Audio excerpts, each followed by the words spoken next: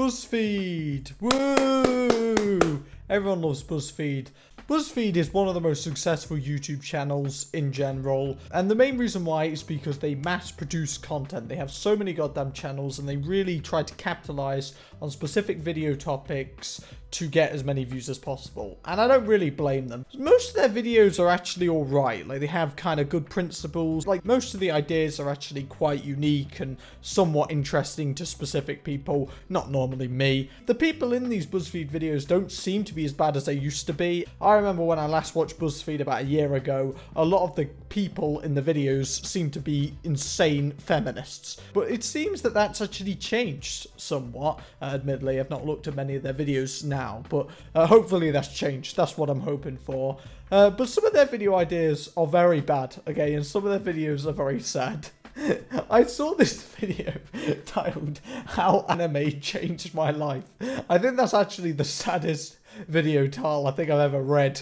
Anime is one of the saddest things, in my opinion, and not because it's uh, Japanese or because I'm a racist or whatever, but instead because it's just, it's fake. It's not real. It doesn't mean anything. That's how I see it. I don't think watching anime is particularly great simply because you're just watching an alternate reality. You're just watching a cartoon and it's just not good. I imagine everyone who watches anime just lies down on their computer at night, uh, like three in the morning, watching it with their dick out and going for it. That's how I imagine uh, anime viewers. Obviously, that's not correct. Be sure to leave me a like if you enjoyed this video. Subscribe if you're new. We're going to watch some of these videos. I say some of them, probably two of them. So let's choose a couple of videos for me to watch.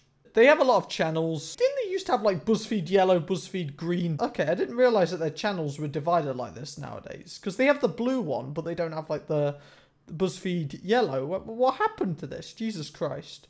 Ladylike. Oh God, it's this one. This is the channel I hate. I, I don't actually hate women, believe it or not. It's pretty crazy. I'm all for equal rights between genders. All 150 genders, that is.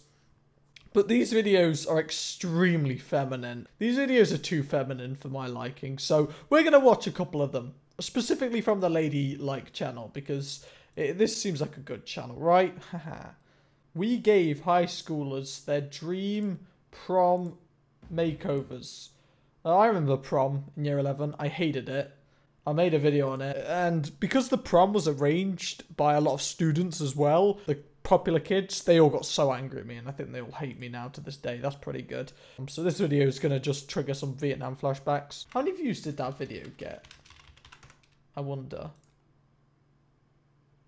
One of the awards. Jesus, 15,000. Oh my god, that's a lot. Firstly, I don't see why people dream about their prom makeovers. I just find that sad.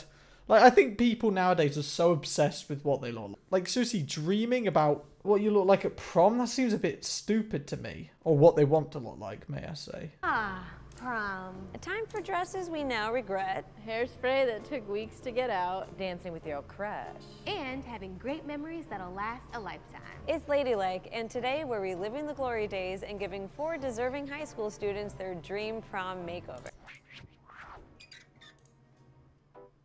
I'm really hungry filming this video, by the way. Dinner is in the oven, guys, but I've got to wait. So if I get angry, that's why. And baby Chantel doing their work. We're doing it. My name is Angie Damien. My name is Samaria Ramirez. My name is Karen Arenas. My name is Jeff. That's such a good joke, Cameron. Well done. These students were first brought to our attention when they made dresses using geometry, which is wild.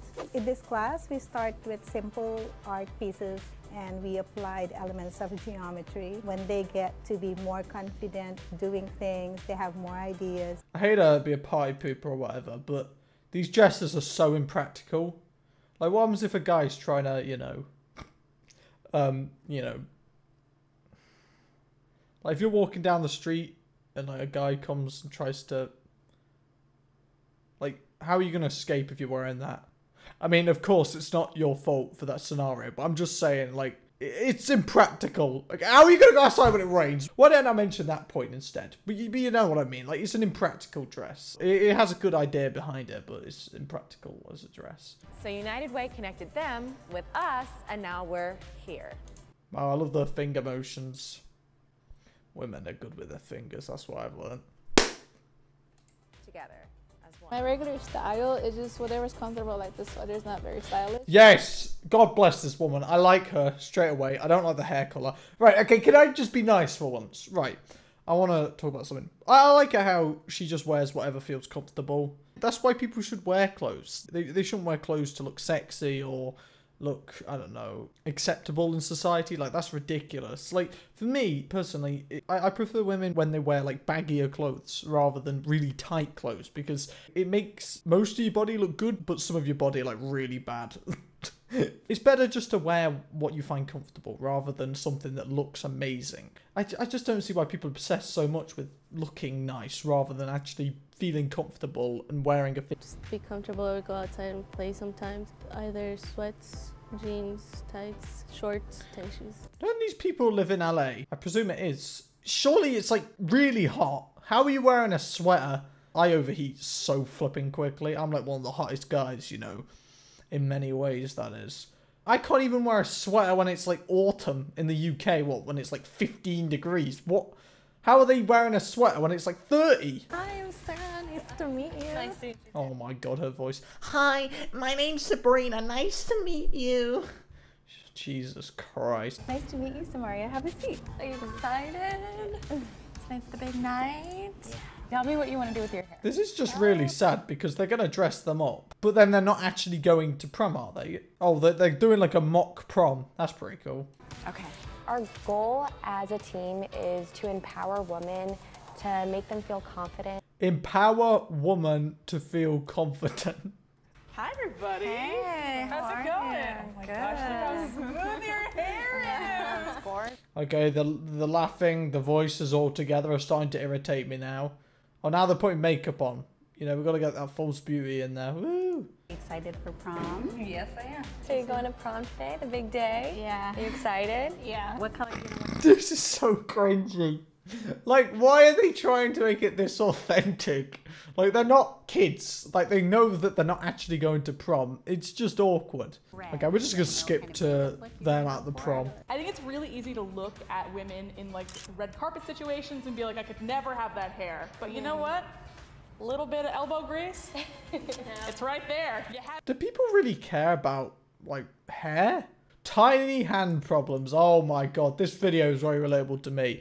A fun fact uh, about me, I have the biggest goddamn hands ever. Like, I genuinely have such big hands. I don't know anyone who has big hands to me except for one guy who sits next to me in physics, and he is really, like, tall anyway, so it's not normal. I have abnormally large hands for my height. Okay, hold on. Tiny hand problems. This is very relatable to me and probably relatable to you.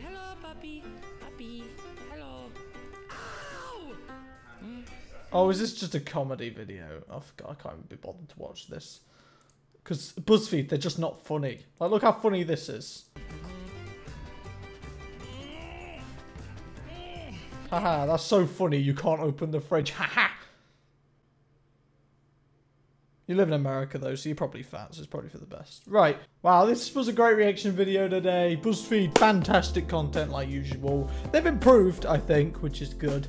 Uh, but, I mean, they had to have improved. Did you see what their content used to be like? Oh my god. Anyway, guys, thank you so much for watching this video. If you enjoyed it, leave me a like, subscribe to the channel if you're new today, and I'll be seeing you guys later. Goodbye!